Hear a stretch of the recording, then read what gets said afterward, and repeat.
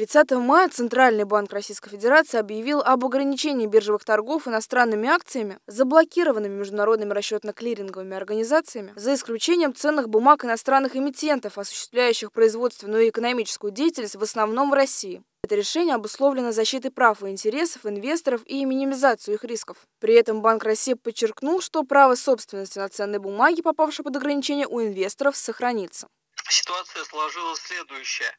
А фактически э, те акции, которые находятся на руках у российских владельцев, ну, я имею в виду акции, которыми сейчас э, прекращены торги, они э, находятся в собственности Э, наших инвесторов, но э, какие-либо операции с ними э, вне нашего рынка, они э, заблокированы. Общий алгоритм по обособлению иностранных ценных бумаг будет следующим. По каждому наименованию иностранных ценных бумаг определяется соотношение долей между ценными бумагами, доступными для торгов, и обособляемыми учитываемыми в национальном расчетном депозитарии. Исходя из полученной пропорции, на счете каждого клиента, владеющего таким наименованием ценных бумаг, определяется количество ценных бумаг, подлежащих переводу на неторговый раздел субсчета депо. Эта процедура коснется только тех клиентов, в портфеле которых есть наименование ценных бумаг, попадающих под обособление. Это не коснется э, нескольких компаний,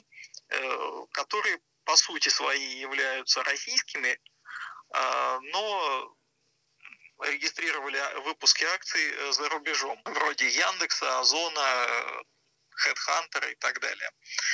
Э, для них просто сделано было исключение в связи с тем, что это, э, по сути, российский бизнес. В остальном они ничем не отличаются от чисто иностранных акций.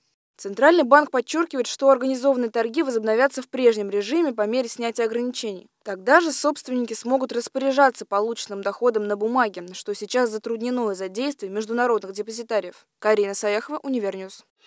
Thank you